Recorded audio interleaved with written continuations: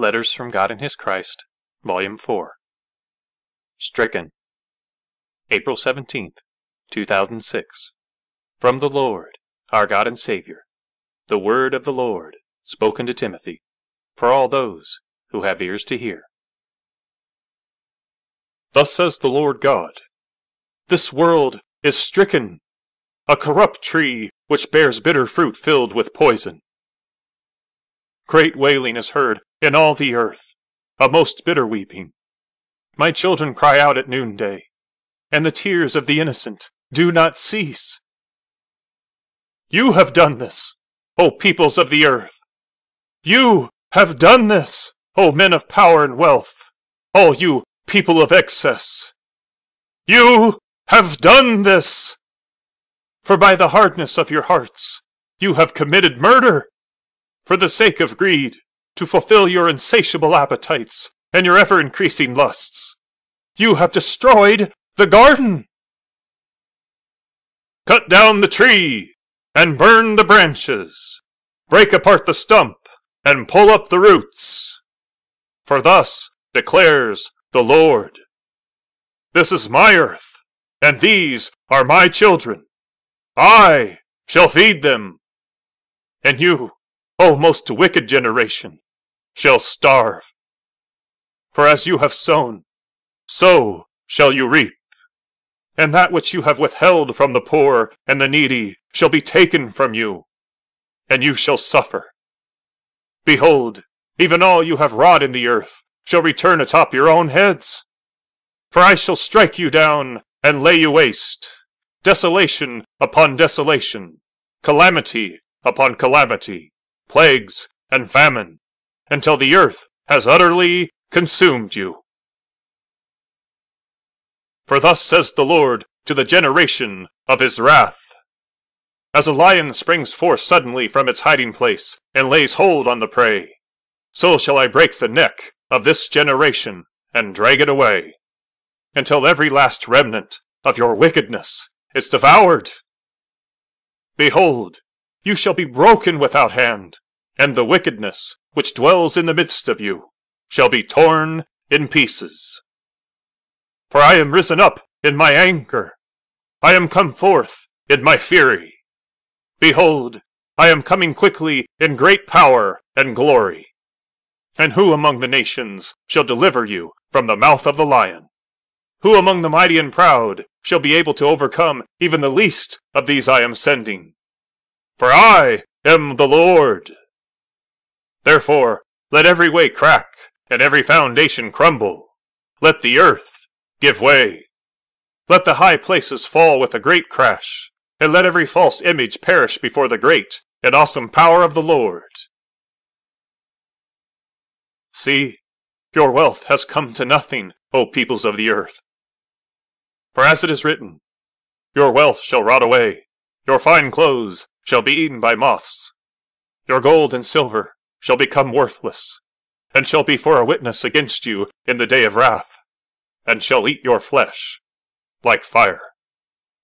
Thus all the treasure which you have heaped up against the day shall bury you. Behold, your power is corrupt, of no use at all.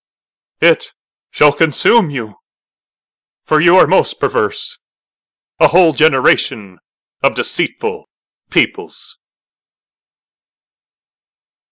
Behold, the eyes of the Lord have seen it, the ears of the Lord have heard it.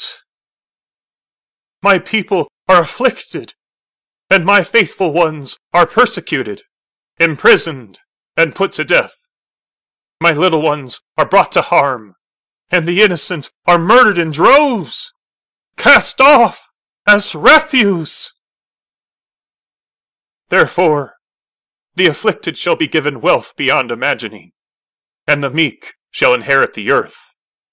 The little ones shall be taken, and the innocent shall return home, and they shall be my sons and daughters forever, life without end. Yet you, O most wicked generation, shall be cast off. I shall cast you out of my sight, and you shall remain outside the gates for I do not know you. says the Lord. There shall be great wailing and gnashing of teeth. Therefore, thus says the Lord to the hard hearted, to every servant of Satan, to all who have joined themselves to this world Kneel! Kneel before the Lord of hosts! Kneel before your Maker! Kneel before the Holy One of Israel, and kiss the Son! For in Christ alone is your salvation. In Messiah alone is their deliverance in the day of wrath. Yes, he who is called Jesus and Christ is the Messiah, your only escape. Yahushua is the Lamb. Behold, he is also the Lion. Yet you will forsake him in the name of another. You shall embrace the impostor and bow down before the image of the destroyer of flesh. Did you think, O you wicked, that the man of perdition could save you from the day of wrath? Did you think you could escape the day of judgment, which I pronounced from the beginning? You are deceived, even as he is deceived. For the reign of wickedness shall be abolished. Every form of evil shall be blotted out. The wicked removed. Evil found no more in remembrance. Stricken. Blotted out. Extinguished in the lake of my burning heart. Yet first you shall kneel. Yes, you shall kneel, even as he whom you have worshipped in vain shall kneel, before the majesty of him called the Nazarene. For the earth shall be filled with his glory, and every knee shall bow to him, on earth, under the earth, and those in heaven. Yea, all shall be brought into subjection before the King. For thus says the Lord Behold, my heart is set ablaze in my anger, and my countenance burns like a raging fire. My sadness is infinite. The weight of unending sorrow covers me. For as I live, says the Lord, I take no pleasure in the destruction of the wicked, but call all in the earth to repent, to turn from their evil ways, and return to me. O peoples of the earth, do you not know the fury of the Lord has come, and is coming quickly? Yet greater still is the love and mercy of God, fulfilled in the Son of Man, he who was sent to you already. Therefore hear the word of the Lord. Call upon the name. Embrace the salvation of God, and live. Therefore, hear the word of the Son of the Most Holy, the only begotten of the Father, the express image of the invisible God. For thus says the Holy One of Israel. In the beginning was the Word, and the Word was with God, and the Word was God. In the beginning was the Word, which I am, the very same as God, by whom all these worlds are and were created. For the Father and the Son are one. Even you were created in the image of God, vessels, temples of my Spirit. Yet you have desecrated the temple, and cease not from corrupting even all I have given you, by which you have also condemned yourselves. For you say, God shall not destroy us. We have neither heard him nor seen him. He only exists in the minds of men and in the pages of books. Oh, how great is the pride and arrogance of man! Binding cords which drag him down to death. A noose which continually tightens as he struggles to maintain his own way. For as it was, and is written, My people are destroyed for lack of knowledge. And because they have rejected knowledge, I must also reject them. In all their forsaking of me are they taken away. On account of their pride, they reject me. And in their arrogance do they hold fast to their own way, treading the wide path. Therefore are the walls of Jerusalem broken down. Thus is the vineyard of the Lord tread down! Behold, the vats overflow! Every vessel is tipped! All new wine evaporates in the fire! And still, my people are not saved. Beloved children, do you not know the power and mercies of God? I am that power through which God has shown his mercy. Beaten, mocked, bruised, scourged and nailed to the cross for your transgressions, stricken by God, pierced and buried, risen to life after three days and three nights, that by my life you may be healed. For my mercies endure forever for all who accept and partake of my mercies. For these shall live by faith, and by no means shall their life be taken from them.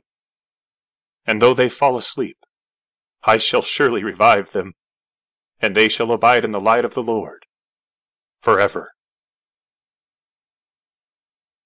Foolish children, I was sent to redeem you, to restore you to life, to show you the way. Yet you forbear, and cast me off as a cord which binds you. Do you not understand? I have broken every cord. I have freed you from every chain which holds you captive. And yet you say, Cast these cords from us? O dead and dying generation, you have forsaken life. You shall surely die. Your fate is sealed and this at your own hand. For according to all your evil works, which you have committed without reservation, and according to your great arrogance in where you have rejected the truth, and turned your backs on the way, forsaking the life, so shall it be done to you. For there is no other, nor any other way found, by which you may enter into the love and mercy of God. One Son given up for many, one way to sanctification and life, life without end. For God so loved the world that he gave his only begotten Son, that whoever believes in him should not perish, but have everlasting life. Therefore, embrace me now, lest you remain and drink of the wine of the wrath of God which is poured out full strength into the cup of his indignation. For I tell you the truth, judgment and darkness shall reign seven days. Then the consummation. Behold, the birth of a new day, even one thousand years. Peace.